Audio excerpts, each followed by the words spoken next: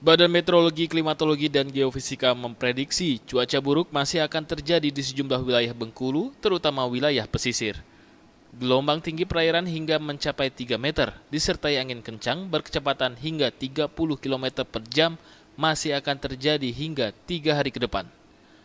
Hal ini disebabkan gangguan cuaca perairan Australia yang menyebabkan terjadinya angin kencang di perairan Indonesia, terutama di Pulau Sumatera.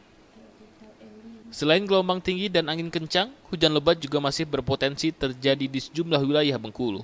Kami himbau kepada masyarakat untuk waspada karena uh, potensi untuk terjadinya angin kencang masih ada hingga tiga hari ke depan, namun uh, berpotensi menurun.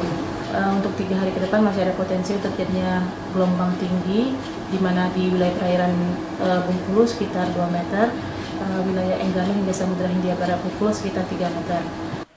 Masyarakat yang bermukim di pesisir diminta mewaspadai cuaca buruk termasuk para nelayan tradisional ketika hendak melaut. Bayazir Al-Rehan, Kompas TV Bengkulu.